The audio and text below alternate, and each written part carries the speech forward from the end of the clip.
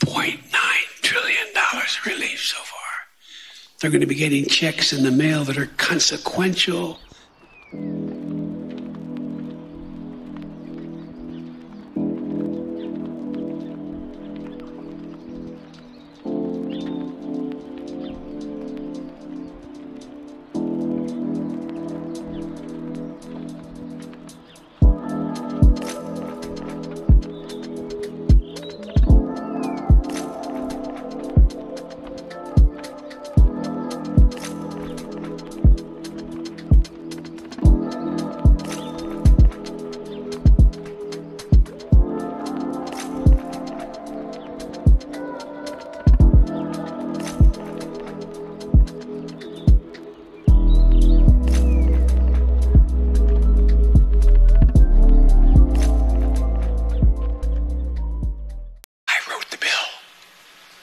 on the environment.